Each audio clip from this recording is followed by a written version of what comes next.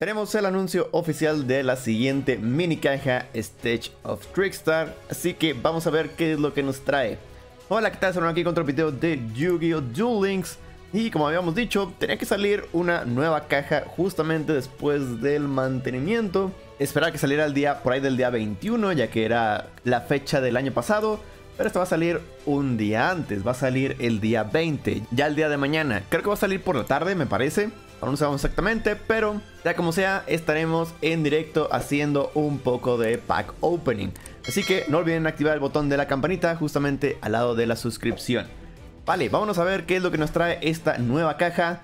Nos trae, pues lo que esperábamos, primero Trickstars, digo la caja se llama Trickstar, pero además nos trae mucho soporte de agua, nos trae al base. Ah, por cierto, también tenemos una nueva habilidad para poder invocar al base precisamente más fácilmente. El alzamiento de Shark. Esto nos pone una salpicadura de reanimación Exit en el cementerio, la cual nos permite removerla del cementerio y usar cualquier monstruo Exit de agua para poder hacer al base. Ya no necesitamos sí o sí al Draco Tiburón, pero la habilidad lo que hace también es bajarnos los puntos de vida hasta 1000 y además si tenemos al Draco Tiburón encima del el Exit este puede hacer el doble de daño. ¿Por qué dice eso? Precisamente por lo que hace eh, el base. Si el base tienes mil puntos de vida o menos, este puede hacer que un monstruo del oponente baje su ataque hasta cero. Y si hace el doble daño, va a ser 5600. Entonces esto encaja perfecto para que una lo pueda hacer más sencillo sin la necesidad del Draco Tiburón, pero obviamente no va a hacer el doble daño. Y la otra, que haces con Draco Tiburón, puedas hacer OTK. Vale, también nos trae eh, otros soportes muy buenos para agua. Este es un buscador. Lo pones eh, como material exit para cualquier monstruo exit. Lo tiras al cementerio para activar su efecto. Y luego, te busca otra cartita. Entonces está bien. También tenemos soporte paleozoico. Más soporte agua. Y también, como habíamos predicho, iban a salir unas pocas cartas marincesas y también, como suponemos, van a salir habilidades para estas, una que otra habilidad. Vale, y aparte nos dan una nueva UR disparo codificador. Vale, vamos a ver todas las cartas, eh, vamos a ver una por una qué hacen las cartas. Eh, primero que nada, bueno, ya vimos el Draco Tiburón, ya dije el resumen de esta carta. Está decente ya con la habilidad. El problema es que uno de los combos más sencillos de hacer es con la Diva, pero para eso necesitas sí o sí la otra habilidad que convierte todo en 4. Eh, no sé si la habilidad también te va a permitir usar algo que no sea 4. Según yo, sí tienes que usar algo que sea 4. Pues todo dependerá de eso. Si no se puede usar la diva, pues va a haber versiones que no usen ni siquiera esta carta. Luego tenemos Bromestrella Ángel Malva. Ya habíamos visto antes en el video de predicciones. Dos monstruos Bromestrellas. Cada vez que un monstruo Bromestrella son invocados de modo normal o especial, a una son las que apunta esta carta, inflige 100 daño a tu adversario. Los monstruos bromis al que apunta esta carta no pueden ser destruidos en batalla o por efectos de cartas. Y tu adversario recibe daño por el efecto de un monstruo bromi estrella. Hasta el final de ese turno, esta carta gana ataque igual al daño que recibió. Ojo, también parece que va a haber una habilidad que va a hacer que esta haga el doble de daño. Pero desgraciadamente solo esta. Habíamos dicho también que deberían de sacar una habilidad para que hicieran todas las Trickstar el doble de daño. Pero desgraciadamente no. Solamente va a ser esta. Entonces pues ni pedo. Luego tenemos el disparo codificador, dos monstruos, dos más monstruos viceversos, es un link 3. Al comienzo de tu battle phase puedes activar este efecto. Esta battle phase, esta carta puede atacar a monstruos de tu adversario hasta la cantidad de monstruos a los que esta carta apunte más uno. Entonces mínimo va a atacar un monstruo, pero si apunta a solamente un monstruo ya puede atacar a dos. Muy bien, pero cuando ataca al único monstruo de tu adversario ese turno, esta carta pierde 400 de ataque. Supongo que aquí es cuando ya ataca al último, pues, cuando ya nada más queda un solo monstruo. Al final de cada Battle Phase puedes robar tantas cartas como la cantidad de monstruos que esta carta destruyó en batalla ese turno. Mmm, eso está bueno. Obviamente estamos en DL en donde queremos terminar duelos, entonces robar las cartas después de la Battle Phase no va a ser la gran cosa. Especialmente porque no puedes colocar nada ni hacer nada después. Entonces el robar no es tan bueno, pero bueno, si no terminaste el duelo, te puede servir para un turno siguiente. Si es que sobrevives, claro. Esperemos vayan sacando más hand traps para que pues el efecto por lo menos sirva un poco más. Vale, luego una carta que me sorprende mucho. Hada de inyección Lily. pagas 2000 puntos de vida para que durante el cálculo de daño tenga 3000 de ataque más. Sube hasta 3400 de ataque. Lo malo es que es solamente una vez por batalla, entonces siento que salió, tardó un poco en salir, pero bueno, de todas maneras es útil, podría ser bueno incluso para farmeos, pero obviamente para un deck competitivo pues me. Luego los infantes, lo que estaba diciendo era que esta eh, cuando es mandada al cementerio para poder activar el efecto de un monstruo de agua, puedes buscar desde el deck un monstruo de tipo serpiente marina, excepto esta misma. Entonces lo pones como un exit, luego activas el efecto del exit, se va al cementerio y listo, se activa. Pero también eh, todos los monstruos de tipo serpiente marina de nivel 3 o menor que controles pueden atacar directamente. Entonces creo que los atlantianos, si no me recuerdo, son nivel 2 y nivel 3. Por eso es que digo que tal vez con la otra habilidad, el territorio de tiburones, sería mucho mejor, ya que con territorio podemos hacer varios exits, no hay ningún problema. vamos a ver cómo se mueve el deck. Eh, también tenemos Remora Exit, puedes invocar esta carta de modo especial desde la mano, desacoplando dos materiales Exit de un monstruo o más monstruos que controles.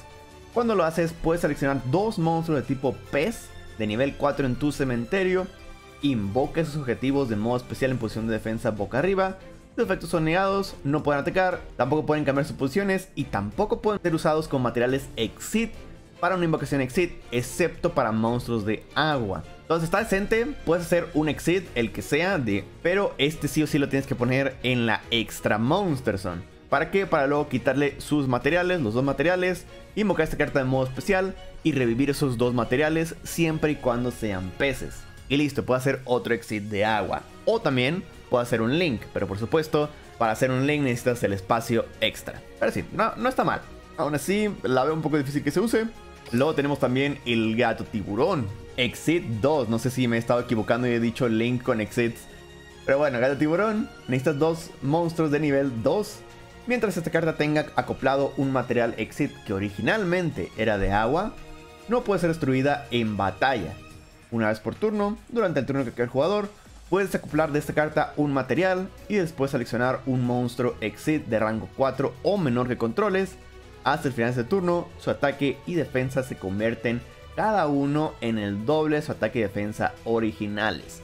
Mm, podría ser ricos OTKs. Con esto ya tenemos una muy buena carta para poder sacar con la diva, de hecho.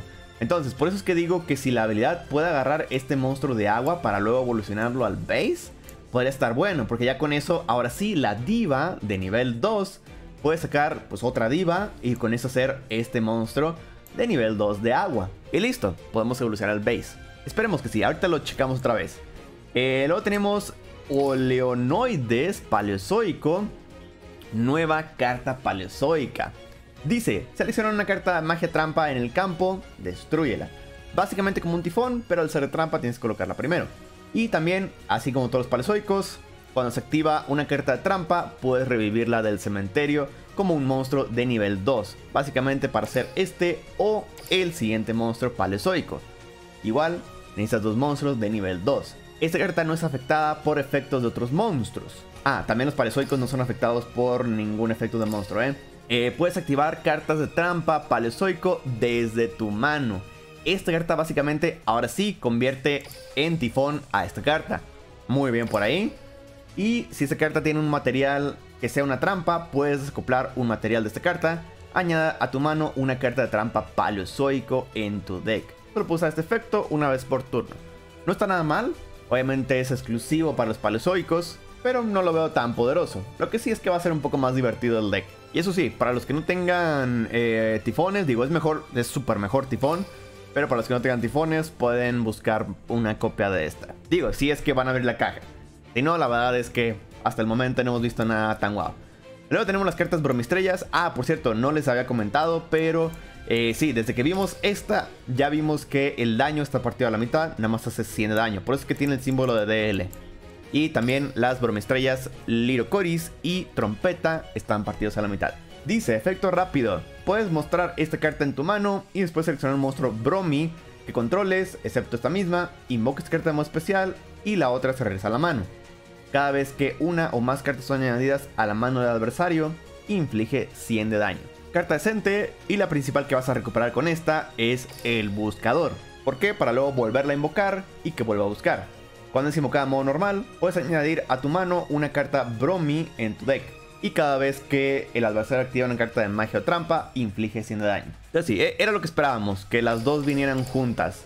Y también esperábamos que fueran SR las dos. Y luego tenemos las marincesas. Pusieron unas cuantas cartas marinces, pero son muy pocas. Como habíamos predicho, iban a ser muy, muy, muy pocas. Vale, necesitas dos monstruos de agua. Puedes seleccionar un monstruo de agua con 1500 de ataque o menos en tu cementerio. Invocar de modo especial a tu zona a la que apunte esta carta. Y además, por el resto de ese turno, no puedes invocar de manera especial, excepto monstruos de agua. Esta carta es mandada del campo al cementerio. Puedes seleccionar una carta Marinces en tu cementerio, excepto esta misma, añádela a tu mano.